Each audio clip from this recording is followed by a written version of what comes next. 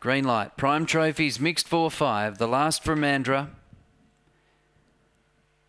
Racing. Even line, missing it now. Cows All Heart and Uranium pings to the front. Buonarama challenges strongly. Who's got at the fence and gets through to take the lead from Elusive Dreamer. Uranium, Buonarama, they tangled their third and fourth, and then Cheeky two. Rosie, Chloe, Cows All Heart, Cosmic Colada, but who's got it stashed clear? Who's got it?